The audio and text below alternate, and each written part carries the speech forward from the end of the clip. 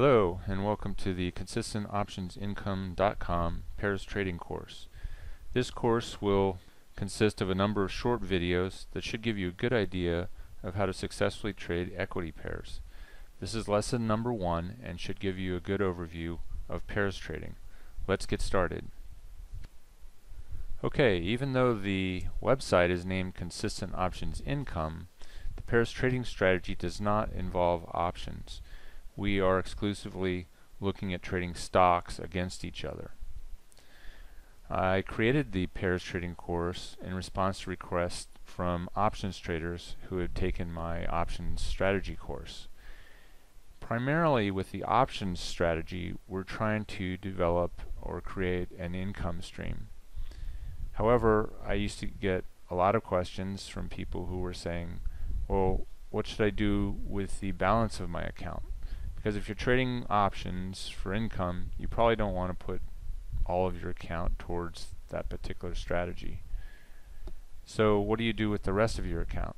The rest of your account that may be sitting idle that you want to do some wealth building. And for me, that was pairs trading. And so although I could give people some general pointers, there was a obvious interest in learning a little bit more about what pairs trading was and that's the reason I created this course. My goal with the pairs trading course is to teach you everything that you'd need to know to trade pairs on your own. I don't necessarily want you to be dependent on me. However, my hope is that once you get into pairs trading and you start understanding it, you'll realize that there's a lot of drudgery, you know, finding good stocks to trade in pairs, finding the good pairs that trade well together, and doing this on a day in and day out basis, there's actually quite a bit of drudgery and a lot of math and calculations that I've automated for myself. And my hope is that you'll find the pairs trading service useful. You'll already know how to trade the pairs. Basically, you'll just be using the service to get the ideas instead of having to do all that drudgery yourself. Okay, what is pairs trading? It's also called equity pairs trading or statistical arbitrage. The idea is that we would buy and sell two very similar stocks, companies that may have a historical relationship of some kind. Uh, the examples that people use frequently are Coke and Pepsi. Everybody knows Coke and Pepsi. They pretty much sell the same stuff. They should be kind of related. We assume going in before we do our research that they have some sort of historical relationship. Similar businesses should move in similar ways. Now sometimes you may think two businesses are similar, that they kind of do the same thing, but their stocks don't trade in a way that's similar. So we need to be able to parse through all the possible combinations of stocks out there and figure out ones that have this sort of fundamental relationship that make it easier for us to trade them as a pair but also have sort of a mechanical, mathematical correlation of some kind. Now once we find two stocks that have this good historical relationship, we intend to buy the weak stock and sell the strong stock.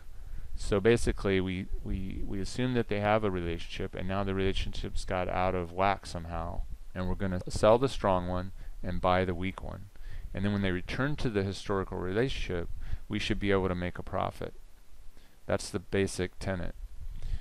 The profit that we're going to get is basically this return to a mean or average or historical relationship. There's a bunch of different ways you can measure it, but the basic point is that we believe that there's some sort of historical relationship and that they, these two stocks that we're trading will return to that at some point.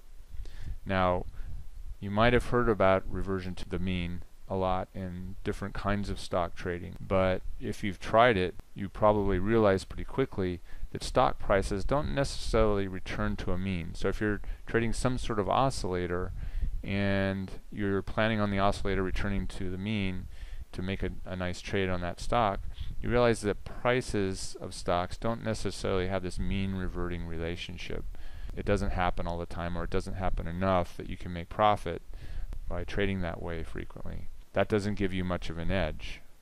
However, when it comes to this pair relationship, if we find good pairs, they do have this sort of mean reverting behavior where the two stocks do return to their historical relationship.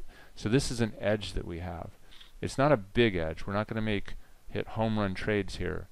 But the idea is to put that the idle capital in our accounts to work, gaining small, high probability profits. Now one of the things that's working for us is the stock market hierarchy.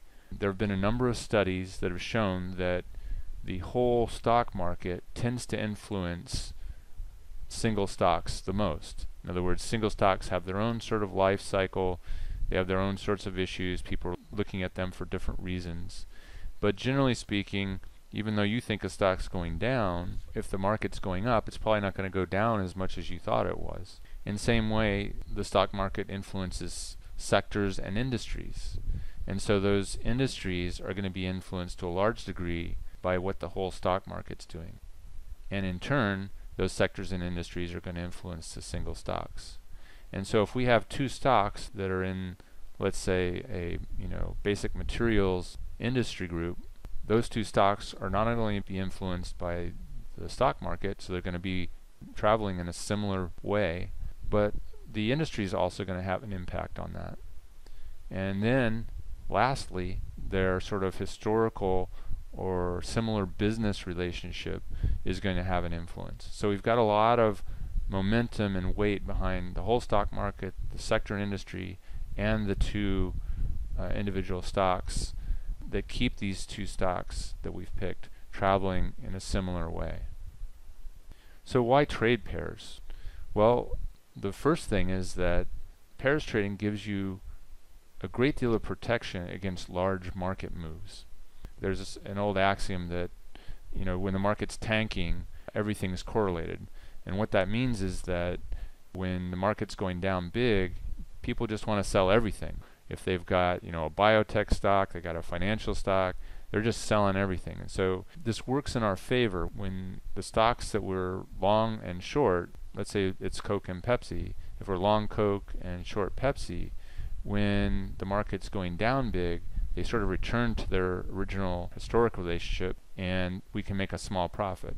Now we're not going to make a big killing no matter what we're doing because we're basically long something and short something. So if we're winning on the short stock, we're going to be losing pretty close to an equal amount on the long stock. However, we have an opportunity to profit if they return to their historical relationship.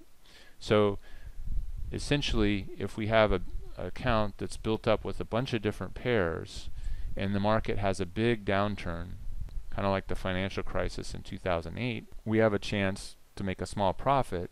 But the big takeaway is that we have a very unlikely scenario where we're going to lose a lot of money because our account's have long stock, which we're going to lose on, but we also got half the account short stock. So at least we can imagine that we might at least break even in a large market downturn. So when we're at market tops like we are right now sitting in August of 2015, the market's very vulnerable to a big downturn. So if we're pairs trading though, we can feel fairly comfortable that we don't have a lot of risk on the table, the same way a guy might have who has a bunch of different mutual funds or stocks in his portfolio, all long. So with pairs, we're going to have a regular, small, high percentage wins.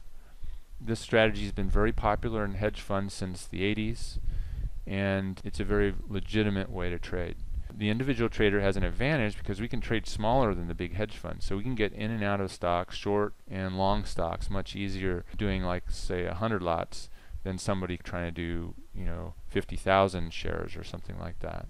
So because of our trade size and because we can get almost the same commissions as professional traders, we have a real advantage because we can trade in smaller amounts and no one's really going to notice us. Also, sometimes some stocks are hard to borrow we try to avoid those stocks, but a stock that's easy to short today, in other words, it's easy to borrow today, may tomorrow be hard to borrow. And so the smaller our size, the more likely it is that we're going to be able to short stocks and not run into a hard to borrow situation. So in general, this is a very successful, sound approach. We're not going to hit home runs, but we're going to make consistent, high probability returns. And also this reduced risk, because we're long half our account and short half our account. This gives us duration, right? when market's doing something that maybe catches us off guard, we're not going to panic the same way we would if, we, let's say, we were just long Coke. If we just had long Coke shares and the market started heading down, we're going to have a certain degree of panic. Whereas if we're long Pepsi and short Coke, it gives us duration. It gives us time to wait until we're right.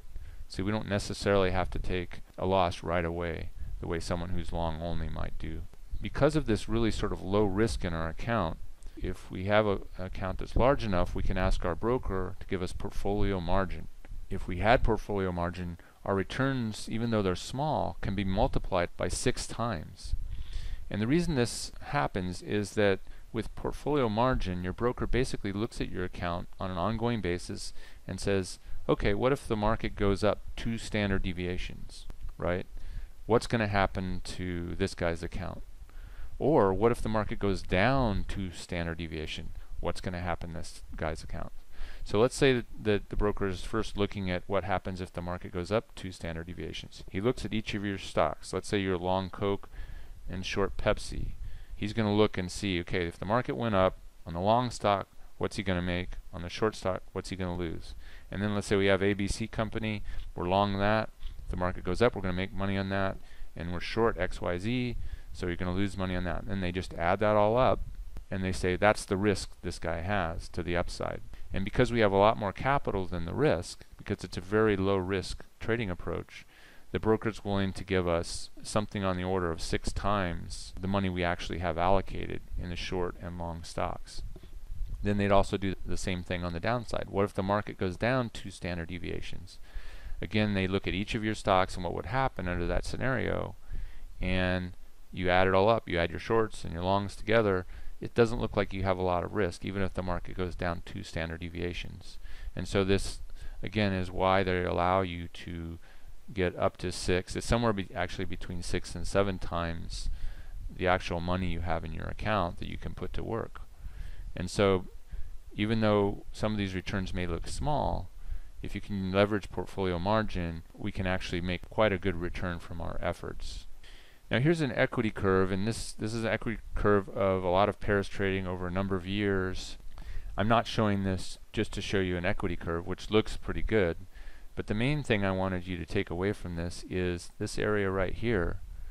It's actually a little bit steeper here than it is the rest of the equity curve out here. Now what this is here is uh, 2008 and the financial crisis. And implied volatility was really high. Volatility in many areas was high. And so the key takeaway here is that pairs trading, when the market gets more volatile, we actually make more money. Volatility actually helps us in our pair trading. And so that's the main takeaway from this equity curve. Alright, if you have any questions on the content of this video, you can reach me at john at consistentoptionsincome.com. And you can also check the website for more information, which is at consistentoptionsincome.com. Just click on the Pairs Trading tab. Alright, coming up next, Lesson 2, Pairs Trading Examples.